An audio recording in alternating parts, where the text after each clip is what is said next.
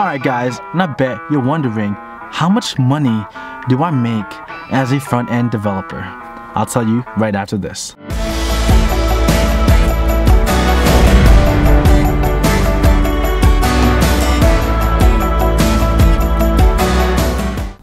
Now, for those who don't know me, and if this is your first time to my channel, one thing you should know is that I do live in California in a tech bubble, and when you do live in a tech bubble, developers tend to get paid better in these areas than through other places in the world. Now, something to note is that I do know a homie, and he actually is a remote developer, and he works for a company. All right, this plane needs to be quiet. You, eh, yo, airplane. Hey, yo, Delta, I see you, man. I'm talking to the camera right now. My bad, hold on. Anyway, let's go back to the topic. Because I live in a tech bubble, I live in California where there are a lot of tech companies, you know, the Silicon Valley, Valerie. oh my gosh, man. I need to stop drinking those energy drinks. There's Silicon Valley in Northern California. When you live in these areas, you tend to get paid better in these areas than anywhere else throughout the country and sometimes even the world unless you live in China because China is killing it right now in the tech industry and they're trying to recruit people even from here in California too. Now, the question of the day is how much do I make as a front-end developer? And people ask me all this time. They're always asking me, DMing me on Twitter, on Instagram, plug in, check it out, link in the description below, add me on social media. I wanted to go ahead and tell you, front-end developers usually make in my area and throughout the country as well. And I think the better question is how much will developers make in 2018 as well? So let me go ahead and let's take out my phone. Um, and this is very interesting because I remember searching this stuff even last year and the salaries were lower last year than now when you look at the median and of how much uh, developers will make. Um, I am looking at payscale.com, right? I'm looking at payscale.com and I'm going to look at other websites too so you can we can compare how much people actually make in my area. I'm looking at payscale.com and I'm looking for what is the average salary of a front-end developer engineer in Irvine, California. Now, I don't live in Irvine, but I'm right next to it.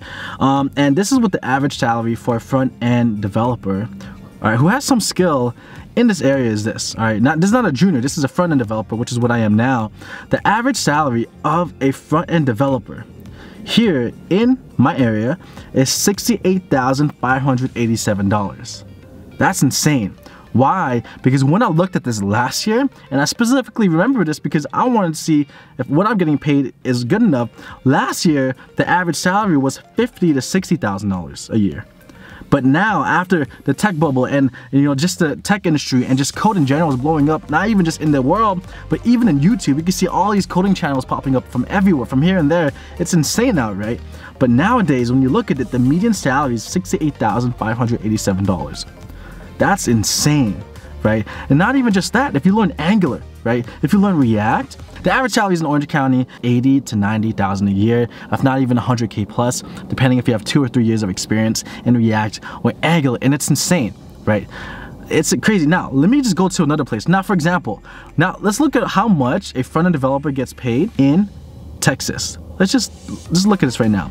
Now, look at the average web developer salary in Houston, Texas. The average salary in Houston, Texas, this is crazy, is $53,000 a year. That is crazy. Granted, okay, the taxes in Texas, there are no income taxes, but to be quite honest, the difference between $53,000 a year $53,000 a year and $68,000 a year is huge. That's a huge difference. Now, why do developers get paid more in California? Because it's extremely expensive to pay here. A house here that's worth 12, 1.2 million here in California can cost only $300,000 in Texas. So if I could choose a difference between here and Texas, I'd rather live in Texas. Why? Because it's so much cheaper. But California is where the weather is at, and this is where I'm at, and this is where devs life is at. Now, you have to think about it now. Now, the average salary in California for front-end developers is $68,000 a year. Now, for those who are just getting into it, right? And just getting into the industry, let's look at the average salary of a junior web developer in Orange County. So, but let's see what it says here. So average web developer salary, this is crazy.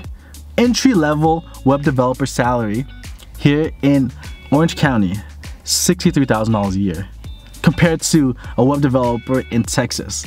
This is crazy, man. Now, when you think about it, man, like just like this is just not this is for like companies that tend to make quite a bit of money too. Now, if you do work for a smaller company, a lot of times I've seen that junior developers, front-end developers, even back-end developers as juniors, you get paid about maybe 40, 45,000 dollars a year, and I've seen salaries where it's gone up from 90 to 120,000 dollars a year. Now, also it does depend on how much experience you have too. So the question of the day is, how much do I make as a front end developer? Guys, you really think I'm gonna tell you my salary? That is insane, man. All right, I'll tell you how much I make. Ready? No, just kidding. Man, I, I can't tell you how much I make as, as a developer. That's insane. Who tells their actual salary? With my salary, I'm very happy. I live very comfortable. But like when I eat at a restaurant, I don't even worry about like how much the price costs. I just go there and give my card. I'm not saying that's like your goal in life, your hope in life, but the fact that I went from living off cup of noodles and living off 49 cent tacos from Del Taco and living in my car for three months to where I am now is insane in the span of just two of two years, 24 months. Why? Because I put in three months of pure hard work to learn code. You guys can do it too, man. I know a lot of people hate on front-end developers, but man, front-end developers are needed. We are necessary, we are valuable, we are important to every single company because a front-end developer designs what the user sees first before even using anything with back-end development, right? So, all right guys, I hope you guys enjoyed the video. Man, kill it. Thank you for watching.